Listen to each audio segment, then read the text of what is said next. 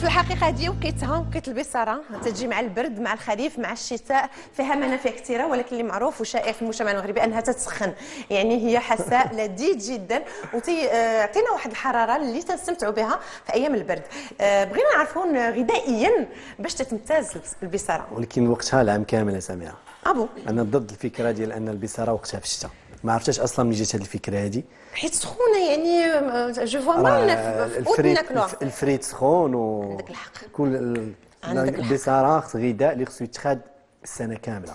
هي ربما جات في الشتاء لأن شحال هذه في الوقيتة ملي كانت تكون الشتاء الويدان حاملين ما تيقدروش يخرجوا. الغذاء الوحيد اللي كانوا تيقدروا يوجدوه هو البصارة في الدار ولكن هذا ما تيعنيش أن البصارة تخادي في الشتاء. هذا بدأ أكبر خطأ يرتكب هذه الأولى اللي تقيدات نفسنا وفي حق في حق البصارة. صافي في العطلة الصيفية إن شاء الله غادي ناكلوا البصارة. خاصها تخاد البصارة خاصها تخاد. أنا ما عرفتش علاش باش نكونوا واضحين محقورة شي شوية عندنا البصارة. يعني إلا جاك شي ضيف على غفلة للدار وأنت داير البصارة ما غتحطهالوش في الطبلة.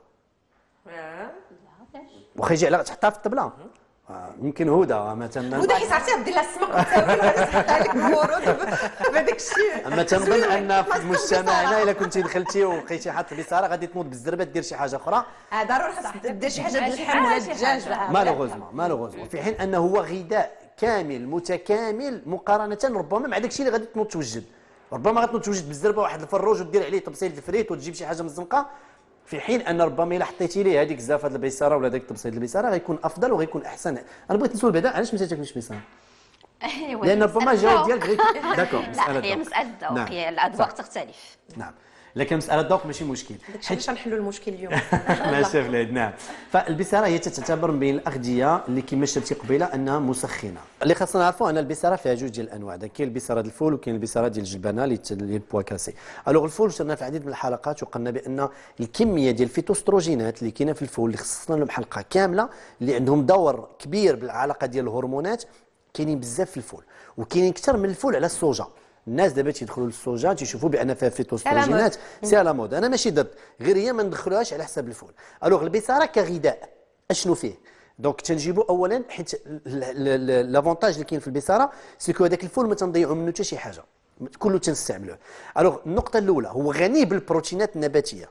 وغنشوفوا أشنو الفرق ما بينهم وما بين البروتينات الحيوانية. هذه النقطة الأولى.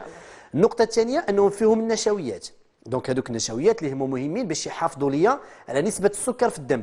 وهذا الحفاظ على نسبة السكر في الدم مقادة هي الأصل وهي السبب إلا ما كانتش مقادة في الزياده في الوزن. لأن إلا ما كانش نسبة الدم مقادة أشنو تيوقع؟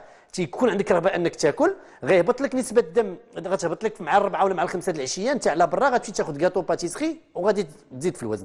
في حين أنك إلا شربتيها في الفطور أو إلا شربتيها في الغداء donc غتحافظ لك على نسبة السكر في الدم ديالك مقادة. ما غيجيكش الجوع باقي نقطة أخرى. ممكن ناكلوها في الفطور. بطبيعة الحال خاصها تخاد في الفطور. ممكن أنا عارفه الشامات ياكلوها في الفطور. بطبيعة الحال ممكن تخاد في الفطور. alors donc قلنا البروتينات النباتية وقلنا النشويات. الرياضيين الناس اللي تيديروا الرياضة. من بعد ما يسالي الحصة الرياضية ديالو تيمشيو يقلبوا على بعض الأمور اللي بعض الأحيان تكون غير صحية. شرب زلافه البيصاره علاش؟ أنا نقول لك علاش.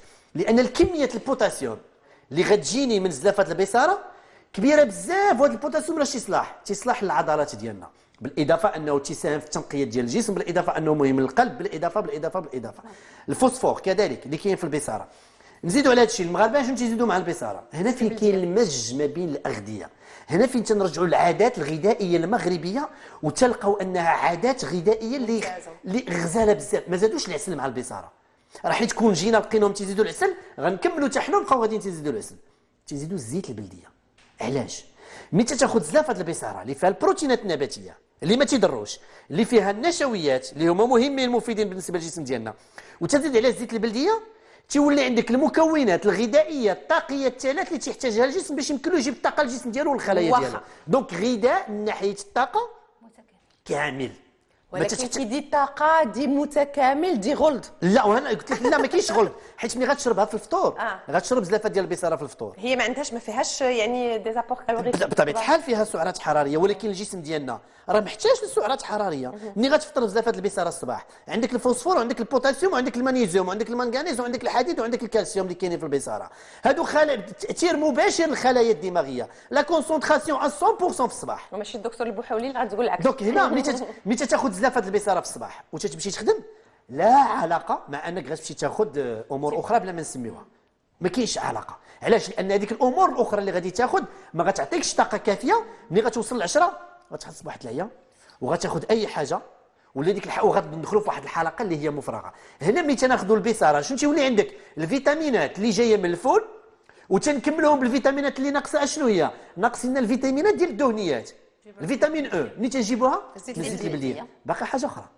تندردروا فوق الماء كمون. كامون. كامل علاش الكمون؟ لأن ملي تيكون عندنا البروتينات اللي هما صعاب في الهضم النشويات كذلك الزيت البلديات هي صعيبة في الهضم ملي تدير الكمون من الفوق وهذا الشيء شرنا له فاش هضرنا على حلقة الكمون إنه يسهل عملية الهضم. كاين غيقول لك دابا تناكلها تنحس بالانتفاخ اللي دار هذه الوصفة هذه شكون؟ شوف دابا هنا هنا فاش نقول لك ان خصنا. نفتخروا هذا طبق ذكاء. خصنا نفتخروا به. ال- ال- اوروبا والغرب تيفتخروا بالأطباق ديالهم. حنا عندنا أطباق اللي هي شحال تسوى زلافة البصارة؟ rien. والو. يعني بواحد خمسة دراهم ولا ستة دراهم باش تمشي تاكلها وفيها المنافع ديالها عجيبة وغريبة. أنا ما كرهتش والله ما كرهت سميرة قسما بالله. إلى أي واحد دخل عندك للدار تحط له comme entrée زليفة د البصارة صغيرة. حط لي ما بغيتيش دير حنا الكرم غنديروا الغداء إلى آخره حط لي واحد زليفة. دخل الغيستو يحطوا لك زليفة على الجو. لا ما غيتقم عليك الجوع غتاخذ زليفة البصاره بالعكس. لا غتحط لك زلافه البصاره صغيرة غتجيب لنا بزاف ديال الفوائد. ألوغ هاد هاد هاد هاد المج ما بين هاد المكونات الغذائية اللي كاينة في البصاره ملي تناخذوهم في الجسم ديالنا مهمين بالنسبة للطفل مهمين بالنسبة للمرأة الحامل مهمين بالنسبة للمرأة المرضع مهم بالنسبة للمسنين. كاين الناس اللي ما خاصهمش ياخذوها هما الناس المصابين بالقصور الكلوي لانها عامره بزاف بالبوتاسيوم وعامره بزاف بالفوسفور لهذا تنصحهم أنهم ياخذوها alors بغيت نقول بالنسبة لنا. ما ياخذوهاش عفوا. نصحهم أنهم ما ياخذوهاش عفوا. alors الناس اللي تيقول لك تناخذوها تنحسوا بالانتفاخ كفى أننا نبقاو نتهموا الأغذية. كفى الناس اللي تيتهموا تضرني العدس تضرني البصارة راه المشكل عندنا في الأمعاء ديالنا وفي الجهاز الهضمي ديالنا. النقطة الثانية هو أن البصارة فيها النشويات بزاف ما خصناش نخلطوها مع الخبز. بطبيعه الحال إلا كليتي جوج زلايف البصاره مع نص خبزة أكيد هنا غيكون عندك عسر في الهضم وغيكون عندك انتفاخ اللي ماشي راجع للبصاره اللي راجع في طريقة تناولنا للبصاره الناس اللي عندهم مشاكل على مستوى الجهاز الجهاز الهضمي ممكن أنهم بطبيعة الحال يبتعدوا عليها بالنسبة للأشخاص اللي مرض. بالنسبة للأشخاص العاديين التناول ديال البصاره ممكن يتم مرة مرتين أو ثلاث مرات في الأسبوع بدون أدنى مشكل بالعكس. هي مصدر مهم للطاقة ومصدر مهم بزاف الأملاح المعدنية والمجموعة من الفيتامينات وخصوصا الفيتامينات المجموعة باء نسيت ما شربتهمش اللي كاينين كذلك في البصارة وهذه الفيتامينات المجموعة باء هم فيتامينات الخلايا الدماغية. لهذا فملي تنهضروا على البصارة تنهضروا على منجم الطاقة منجم الأملاح المعدنية ومنجم الفيتامينات اللي أنا بالنسبة لي الثمن ديالو إلا بغيت نعطيه ثمن هاد هاد القيمة الغذائية ساويه كثار من 6 دراهم. ونتمنى أننا نرجعوا للعادات الغذائية المغربية وخصوصا نفتخروا بها لأن فيها من المكونات ما أننا نفتخروا بها. شكرا لك سي نبيل عياش على كل هذه التوضيحات المهمة دينا جدا واللي تنتمنى غادي تقنع الدكتور نتمنى تبقى عندك. طيلة السنة. إن شاء الله.